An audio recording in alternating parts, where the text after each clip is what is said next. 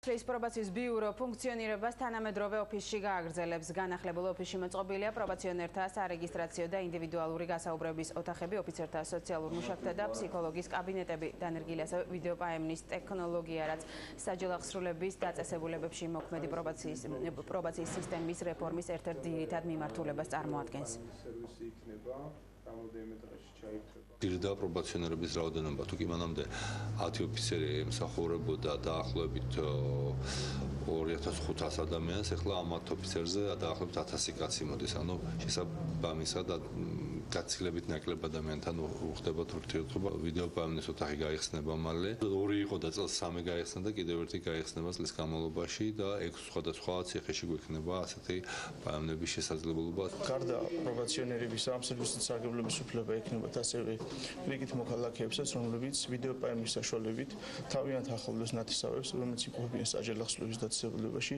მათ მოახდენენ ხმოვან და აუდიო ვიზუალურ კავშირის დამყარებას.